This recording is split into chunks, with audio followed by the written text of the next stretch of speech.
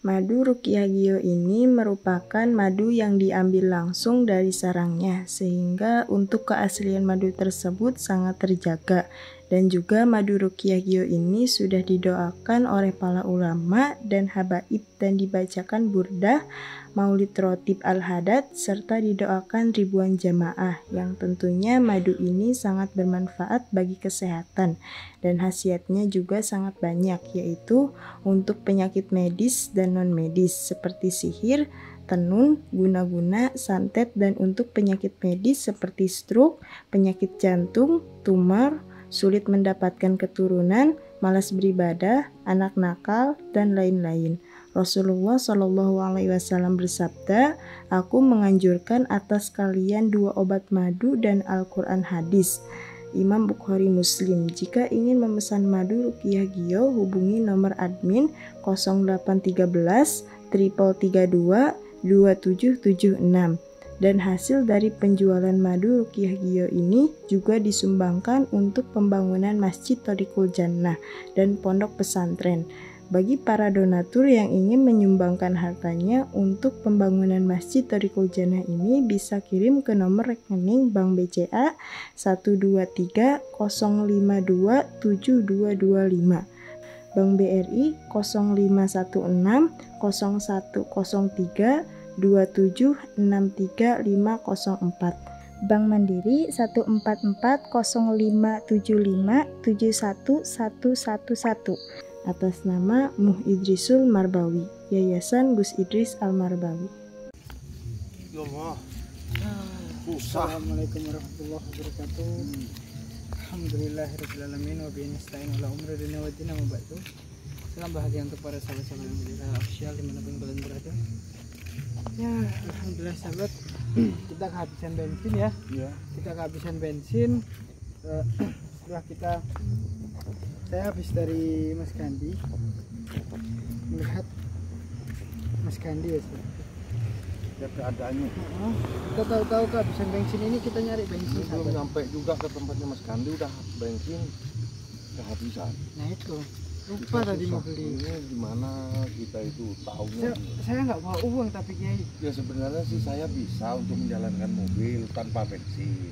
Kalau seandainya saya sendiri berhubung sama ngikut kan saya nanti dikira gimana? Ya nggak apa-apa. Kan ini genting.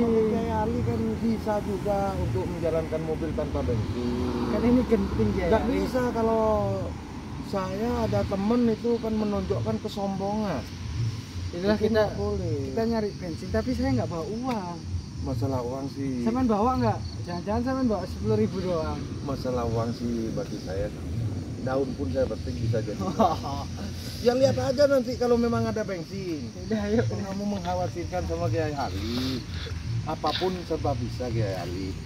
Uang bisa aja apa daun bisa jadi uang kok nggak gitu ini juga udah malam kita iya. udah udah jalan berapa kilo guys sampai yang penting ada bensinnya uh, yang jualan gitu kalau kita sampai demplok ya Ali jalan itu Gimana itu lampunya aman nggak itu?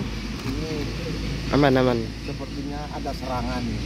Serangan goib ini ke lampu ini. Ini kok lampunya kok pedih-pedih. Kita sambil jalan. Eh, Mas di depan sini loh. Ini daerah mana ini kok? Saya nggak pernah ke sini. Aduh, oh, susah untuk orang di sini tuh jualan bensin. Ih, jalannya nanjak lagi. Templos sahabat. Ya, inilah ya ya, ya. Kalau saya walaupun sudah tua, kalau masalah jalan, kan saya pakai meringankan tubuh. Meringankan tubuh, meringankan tubuh itu saya bisa. Bagaimana caranya untuk uh, menggerak-gerakkan kaki supaya kaki itu tidak terasa uh, level tapi kasihan kayak Ali Mas Kandi. Ya gimana? Walaupun kasihan kan kita juga sepertinya ada halangan. Ya, tapi kita harus tetap cari bensin ini. Mana? Mobil kita itu di sana biarin jauh udah 5 kilo per kiloan kita jalan lurus sana lagi. Sampai sini kita nggak ada nggak ada lubang-lubang sepi iya. Bikin masalah Mas Gandhi Mas Gandhi. Kalau seandainya nggak apa-apa lah saya ini kan genting sampean pakai ilmunya sampean buat jalanin mobil tanpa bensin gitu loh sekarang kita pakai mobil tanpa bensin. Terus kita jalannya aja ke sananya udah 5 kilo 4 kilo.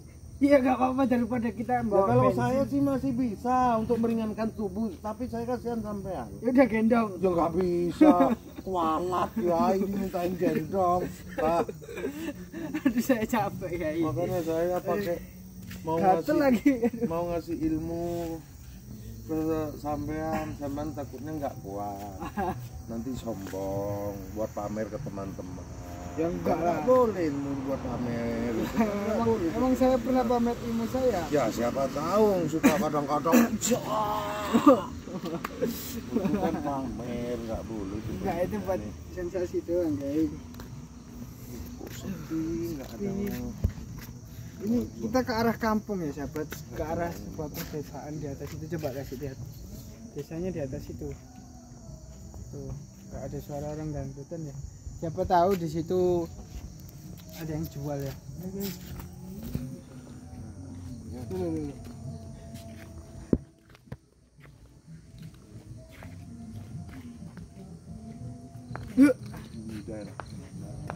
capek sahabatnya. Saya aduh, udah jalan kilo lebih kayak. Eh.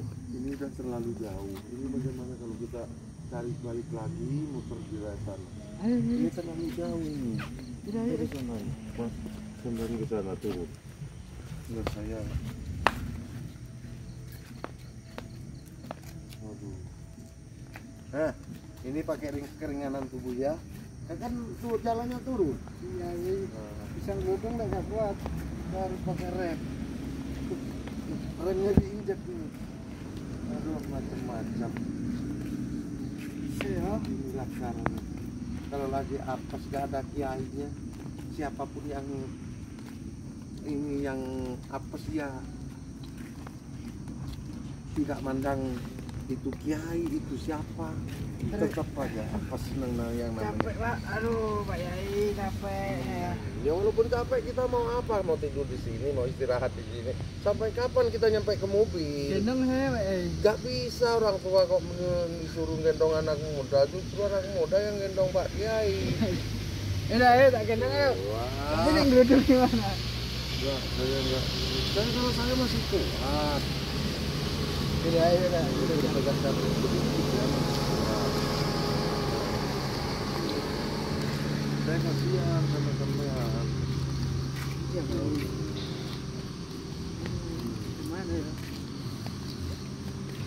kita cari eh pak yai saya kuat ini apa kita ke tempat sekilan ya Mau jalan kaki? Ya, siapa tahu dekat sini tempatnya jauh apa enggak sih? Sikilan itu daerah mana? Kita juga nggak tahu di daerah mana. Ini. Kok mau ke tempatnya Lebu Sikilan? mana kita coba mau memberhentikan mobil juga. Nggak bakalan berhenti. Kameramen dari sebelah sini kan? Depan juga sini. Ini nyampe nya ke mobil kita aja berapa jam ini lagi ini dua jam ya ini Mending kita sambil selawatan ya. Monggo. Biar gak silahkan. Sallallahu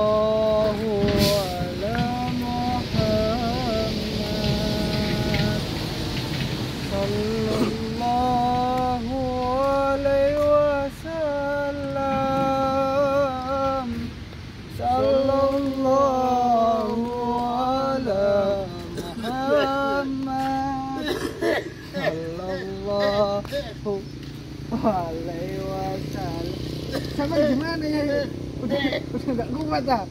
Sampai batuk gitu. lagi batuk Aduh, udah tua ini sahabat. Sampai udah tua Pak Yai. Sampai gitu batuknya. Ayo. Eh, silahkan Ya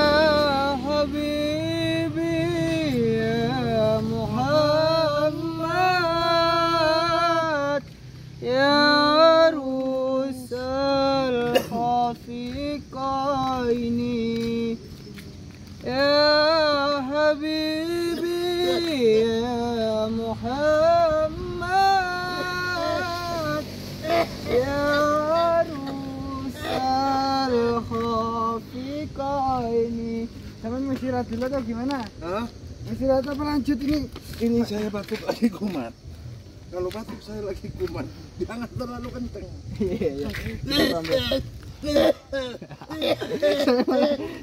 saya takut soal madam soalnya ke- apa batuknya lucu ya. Ya namanya orang sudah tua. Masa batuk kayak sama anak muda. Kalau anak muda, eh, eh, eh. Liatin jalannya ke sana tuh. Awas. jalannya liatin ke sana Ada. Ini.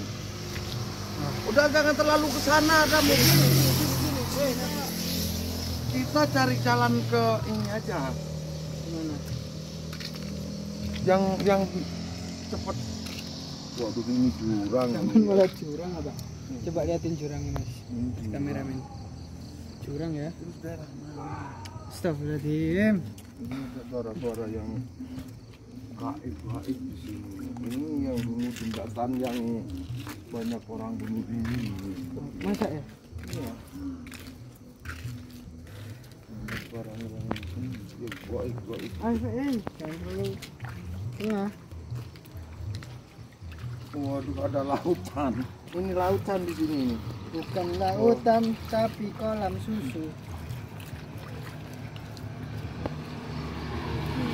gini sahabat ya kadang itu kita lagi kena apes kita ingin ada cobaan soalnya kan di pondok juga biasanya anak-anak itu kalau keluar sa- satu mobil keluar keluar semua diisiin Ini ada ada laut. Alah ada ikan, ada ikan.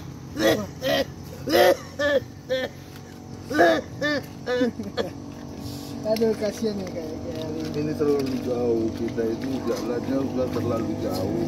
Awas ada lautan lagi ini. Kalau lewat di lautan takut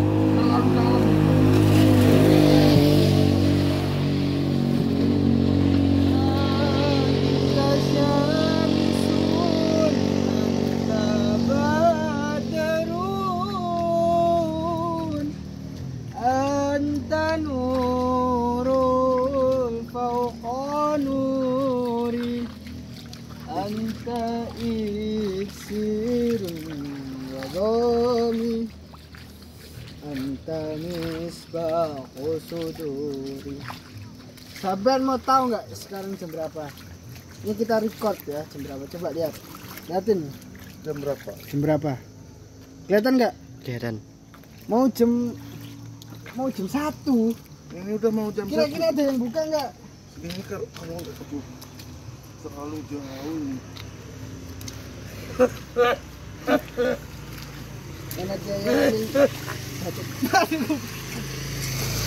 Dengar nggak ya? Ya?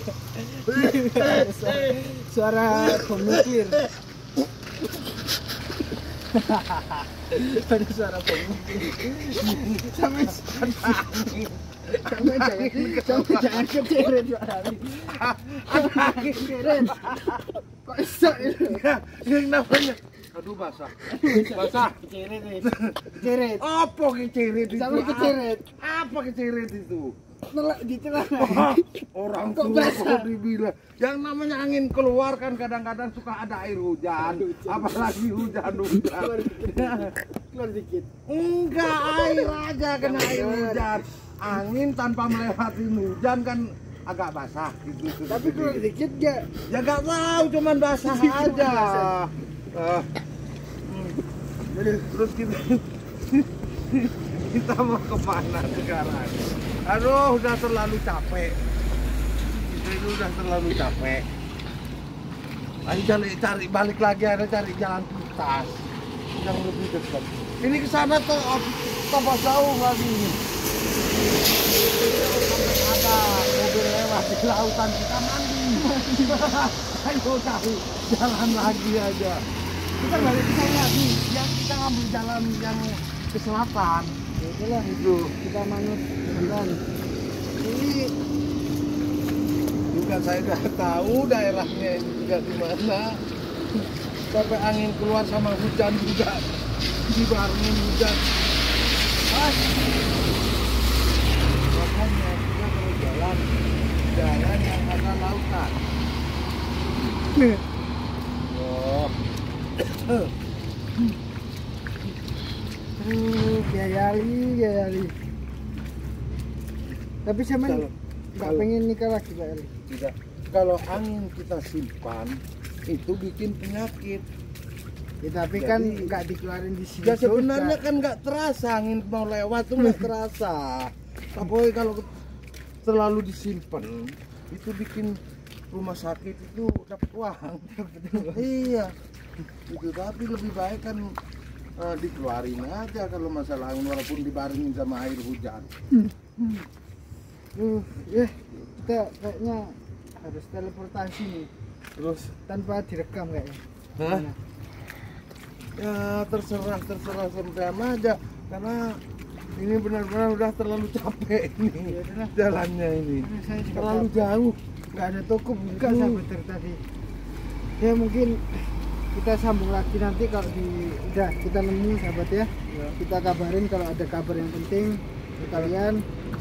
Nggak apa-apa lah kita rekam segini aja dulu. Kalau misalnya ada kurang lebihnya dari saya saya mohon maaf sebesar besarnya saya akhiri. Assalamualaikum warahmatullahi wabarakatuh